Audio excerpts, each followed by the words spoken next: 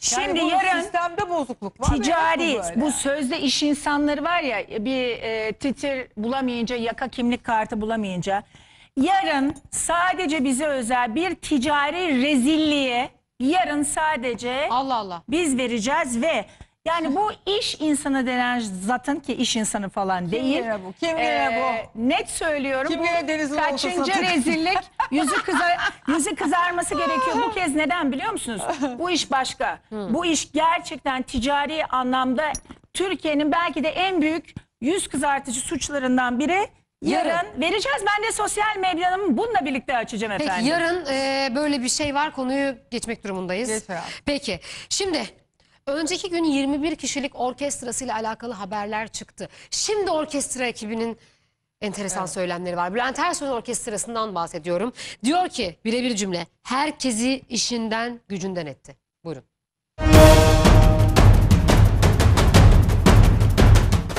İsyan. Bülent Ersoy'un Kıbrıs'ta tutuklanan orkestrası Bülent Ersoy'a ateş püskürdü. Hani servetini harcayacaktın? Herkesi işinden gücünden etti. Herkesin hayatıyla oynadı.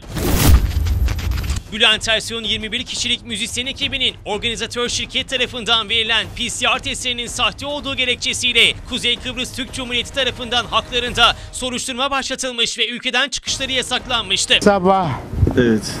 gelmişler. Bilmem nelerini PCR alınmamış bir şeyleri. sahte Bir. olduğu yansıdı haberlere. Benim mi? Sizin değil, ekibin. e, orkestra. Müzisyen arkadaş. Ha onu ben bilemiyorum işte. Benim her şeyim sağlamdı. Allah'a hamdolsun. Önceki gün görülen davada 21 kişilik orkestranın şefi 45 gün hapis cezasına çarptırılırken orkestra üyelerine bir ay hapis cezası verildi.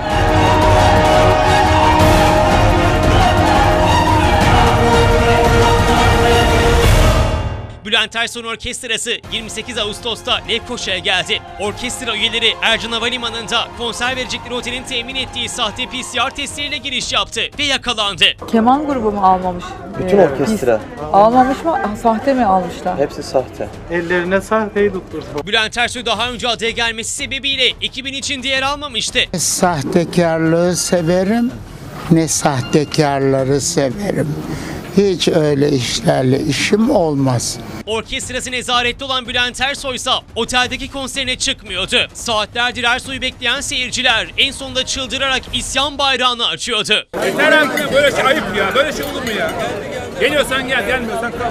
Orkestra havalimanında yapılan testin negatif çıkması sonrasında polis gözetiminde sahneye gönderiliyordu. Orkestrası gelen Bülent Ersoy sahneye çıkıyor ve neden geç çıktığını seyirciye izah ediyordu.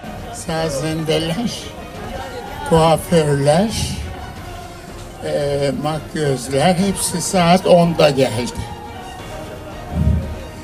Onun için ben hayatımın en hızlı maratonunu yaşadım bu gece. Vallahi ve billahi. Sonra orkestranın sahte PCR testi sebebiyle nezarete atıldığını ama kendisinin temiz olduğunu söylüyordu Diva. Bunlar nezaretteydi aptallar. Ay öleceğim şimdi buralarda. Allah'tan benim her şeyim tamamdı. Ama bu arada beni de Tabii. Ve Diva orkestrasından özür diliyordu. Şahsen şahsım olarak özürlerimi ifade ediyorum. Affedin benim bir suçum yok ama her şeye rağmen affedin beni. Ersoy'un orkestrası konser sonrası ise gözaltına alınıp ertesi gün hakim karşısına çıkarıldı ve müzisyenlerin hepsi Kıbrıs'ta rehin alındı. Hakim geçen hafta yapılan ikinci duruşmada ise bir otelde polis gözetiminde bekleyen orkestranın tutuklu yargılanmasına karar verdi. Karara Bülent Ersoy büyük tepki göstermiş. Yaptığı basın açıklamasıyla Kıbrıs hükümetini yerden yere vurmuştu. Kuzey Kıbrıs Türk Cumhuriyeti'nin Sayın Hakim, Sayın Savcı, Sayın Bakanlar Kurulu, Sayın Başbakan, Sayın Cumhurbaşkanı'na sesleniyorum. Sizin adanızda adalet kişilere göre değişim mi gösteriyor? Ersoy, orkestrasının maddi manevi yanında olduğunu ve Türkiye'nin en iyi avukatların tuttuğunu söylemişti. 21 arkadaşım ve dostuma mahkemelerinde ters bir reaksiyon oluşmaması adına herhangi bir şekilde zarar gelmesin diye evet sustum. Onlarla sadece telefonda konuşarak gerek maddi gerek manevi ilgimi, alakamı, sevgimi, bağlılığımı hep hissettirmeye çalıştım. Ailelerine maddeten yardım ettim. Bizzat arkadaşımın hamile eşini yatırdığım çok ünlü bir hastanede doğumunu yaptırdım. Hatta ve hatta kendileri de teveccüh buyurup yeni doğan evlatların ismini Bülent koymuş. Bir ay hapis cezası. Ama önceki gün görülen davada 21 kişilik orkestranın şefi 45 gün hapis cezasına çarptırılırken orkestra üyelerine bir ay hapis cezası verildi. Bülent Ersoy'a büyük tepki. Herkesi işinden gücünden etti. Orkestra üyeleri verilen bu kararın ardından mahkeme çıkışı Bülent Ersoy'a isyan etti.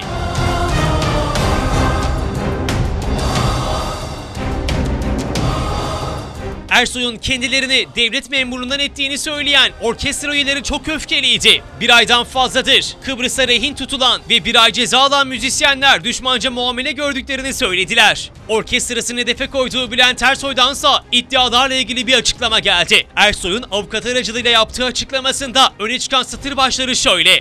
Bülent Ersoy pasaport görevlisi ya da sağlık çalışanı değildir. Kuzey Kıbrıs Türk Cumhuriyeti'nde sahte PCR testinden dolayı yargılanan orkestra ekibi konser başına ücret alan, bağımsız çalışan ve müvekkilim gibi birçok sanatçıya da ücret karşılığında hizmet veren bir ekiptir. İlgili orkestra ekibinin hangi şartlarda ve ne şekilde Kuzey Kıbrıs Türk Cumhuriyeti'ne geldiği konusunda müvekkilimin herhangi bir bilgisi bulunmamaktadır. Zira müvekkilim ne bir organizasyon ne de bir pasaport görevlisi ne de PCR testi yapan veya kontrolden sağlık çalışanıdır. Bu sebeple kamuoyunda müvekkilemi karalamak amacıyla sahneyi paylaştığı müzisyen arkadaşlarının sahte PCR testi yaptırdığı ya da yaptırıldığı iddiasının muhatabı müvekkilemin kendisi değildir. Ancak bu durumu fırsat bilen bir kısım kötü niyetli kişiler sosyal medyadaki asılsız söylemleriyle müvekkilemi müferit olayın nedeni olmakla suçlamaktadırlar. Oysa müvekkilimin bu durumla ilgili hiçbir hukuki bağlantısı bulunmamaktadır. Bülent Ersoy maddi manevi orkestrasının yanında bulundu. Müvekkilem sahne arkadaşlarına destek olmak için sadece insani duygularla onların hem maddi hem de manevi olarak yanında bulunmuş, özgürlüklerine kavuşmaları için olağanüstü bir çaba sarf etmiştir. Ancak kamuoyunun da takdir edeceği üzere müvekkilem ne bir hakim ne de kanun koyucunun kendisidir. Müvekkilem verilen hapis kararını en az orkestra arkadaşları kadar derin bir üzüntüyle karşılamıştır. Evet orkestranın iddiaları, Bülent Ersoy'un açıklamalarına bakacak olursak anlaşılan bu sahte PCR olayı daha çok konuşulacak.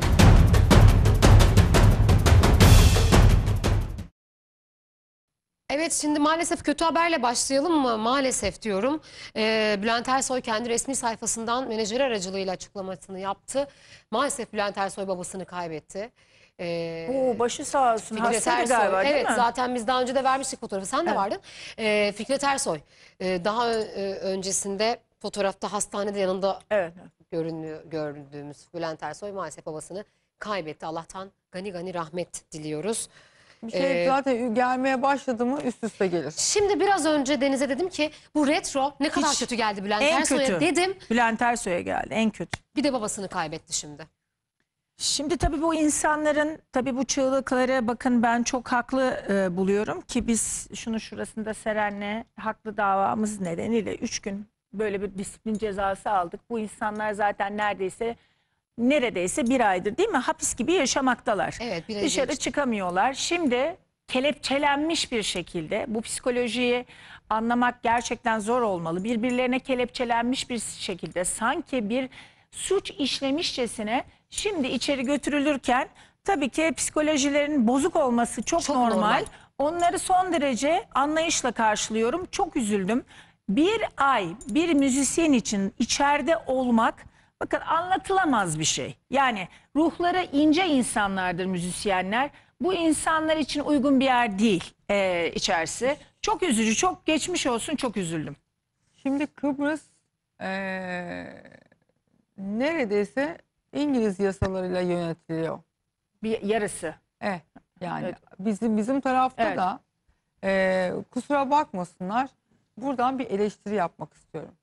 Burası bizim yavru vatanımız. Kıbrıs Türk Cumhuriyeti değil mi? Bize ait bir yer. Oradaki insanlar da bizim kardeşlerimiz. Onlar da Türkler. Eee, fakat özellikle havaalanına indiğiniz zaman havaalanında sanki bir askeri havaalanına iniyorsunuz size kim olursanız olun çok kötü davranıyorlar. Allah. Yani kötü davranıyorlar. Evet. E, işlerini yapıyor olmuş olmalarından bahsetmiyorum. Konuşma tarzları, üslupları falan son derece.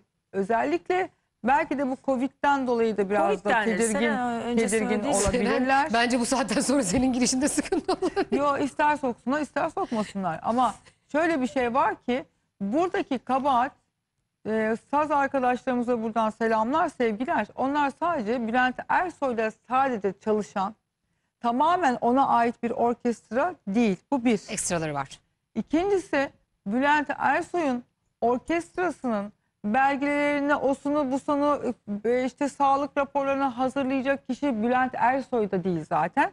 Böyle bir şeyle yapmakta da mükellef de değil yani. Bu, bir- bu iki. Kendinki de e, şey olabilirdi. bunu haberi olmayabilirdi yani. Yapan otel kimse. İkincisi bunu hazırlayan doktor. Siz bunlarla alakalı hiç kimseyi içeri almıyorsunuz. Geliyorsunuz Türkiye'den gelen müzisyen vatandaşları içeriye alıyorsunuz. Peki ben size soruyorum şimdi. Hadi bakalım. Ben aşısız girdim Kıbrıs'a. Çünkü benim be- bedenim eee, çok zayıfım şu anda diye 43 43 44 kilolarda olduğum için hala yaptırmaya en kısa zamanda da gidip yaptıracağım. Ben aşısız içeriye girdim. Görevli diye bir şey çıkartmışsınız. Görevli. Görevli yazanlar giriyor içeriye. Zafiyet var yani. Bu, bir dakika. Bir dakika. Bu orkestra arkadaşları da orada çalışanlara görevli diye yazmışlar herkese. Hmm. E bana da görevli diye yazmışlardı. Ve ben girdim içeriye. Şunu anlatmaya çalışıyorum. Bilmiyoruz ki ama ne demek Bir o daha görevli. giremeyeceğim. O görevli neyi anlatıyor bilmiyoruz. Bilmek zorunda da değiliz. Çünkü diyorsun ki benim PCR testimi yaptırdım ben İstanbul'dan gelirken. Görevini ne E. PCR testimde e, pozitif değilim, negatifim. Anlatabiliyor muyum? E, e, havaalanına indim. Bir daha PCR testini yine Kıbrıs'ta yaptılar orada. E, Hatta Ebru Yaşar'la kocası da vardı. Onları da dön- döndürdüler. Orada da yaptırdık. Ama aşım yoktu. Görevli olduğum için de girdim. Bunlar zamanla ne bilsinler. PCR testlerini yaptırıyorlar Türkiye'de. PCR'da hiçbir şeyleri yok. Orada da PCR testi tekrardan yapılmasın diye bunlar 20 kişi geliyorlar ya çünkü. Bunlara görevli diye otel görevli bunlar. Ama şimdi Biz sen usuldeki e, zafiyete kızıyorsun anlıyorum. ama, Ama, çok hayır, haklısın. Her adamına göre muameleye kızıyorum. Çok haklısın. Fakat bunun sonucundaki fatura yine Bülent Ersoy'a Ama Bülent bak. Ersoy'un hiçbir kabahati yok. Evet burada. ama tabii ki Bülent yok. Hanım'la nereden anlayacak o belgeleri? Tabii ki Ben yok. bile görevli diye içeri girdiğimizi ben bile orada anladım yani. Orkestra şefi 45 gün alırken diğer orkestra üyeleri 30 gün alıyor. Ve nezarete ve daha doğrusu gö- götürülürken hapishaneye söylemleri Bülent Ersoy'u hedef alıyor. Senin Kıbrıs'la vedalaşma sözlerin bittiyse Kıbrıs'a bay bay dediysen bir izleyelim. Benim de bay bay bay bay yani doğruysa doğru Allah Allah. Bir de orada atsınlar içeri olsun bitsin diye. İzleyelim. Allah Allah. Burada da adamları dolduruyor. Şimdi böyle Tamam uzaktan bakıp seyrederken ben de öyle yapıyormuşum. Böyle uzaktan bakıp seyrederken ekrandan vay kötü olmuş deyip geçiyoruz. İki tweet atıyoruz. Instagram'a bir şey paylaşıyoruz. Yazıktır, günahtır falan ama diyoruz ama çok günah bakın ya. eee, Allah kimseyi düşürmesin. Hele bir müzisyenin, kimsenin ama şimdi sen suç sen Müzisyene değil ya haksız yere yatanı düşürmesi. Seren yani suça meyilli bir Hani- insansındır. Bunu bilirsin ne olduğunu. Bu insanlar müzisyen, naif ruhlu, müzik yapan, müzikle hayatını kazanan insanlar. Yok, burada bir süper başka bir şey var acayip bir çocuklar. ruh Müzisyen olup hali. katil de olabilir doğru Hayatım, söylüyor. Burada Ya tamam ben başka bir Burada şey söylüyorum. haklıysan içeri girdiğin zaman koyuyor. Diyorsun ki yaptım kardeşim ben cezamı yatacağım diyorsun. Seren şunu Ama söylemek haksız yere Girip çıkanlar girdiler. var sürekli. Bazı suçları işleyip. Şimdi bu adamların Yok. hayatı bu belki trafik cezasından öteye gitmemiş insanlardır Deniz bunlar. son zamanlarda Kıbrıs'a gittin mi? Gitmeyi düşünüyorum Ha. sen. Kuyruğa girmeden önce polis kontrolüne, pasaport kontrolüne girmeden önce PCR testini alıyorlar seni. tamam. alsınlar. PCR testini almadan polis kontrolüne girip içeri giremiyorsun. Mantıklı. Yanlışlıkla PCR testi olmadan pasaporttan geçersen en, en, en başta kapıdan seni geri gönderiyorlar. Güzel. Beni geri gönderdiler. Çünkü PCR testimi orada yapmam gerektiğini tekrardan bilmiyordum. Bilmiyordun. Pasaporttan geçtim. Dediler ki nerede PCR testiniz? gösterdim dediler ki hayır burada Yeni da. PCR testi. Geri gittim. Ben de şimdi soruyorum oradaki yetkililere. Siz bizi PCR testi orada yaptırdınız. Bunlara niye yaptırmadınız? Bunların verdiği belgeyi kabul ettiniz o zaman. Bizimkini niye etmediniz o Doğru. zaman? Seren zaten şöyle bir durum var. Olmaz, Bakın, burada böyle çok bir büyük şey bir hata yapı- var Böyle yani. bir şey yapıldıysa da zaten yapılmış belli ki.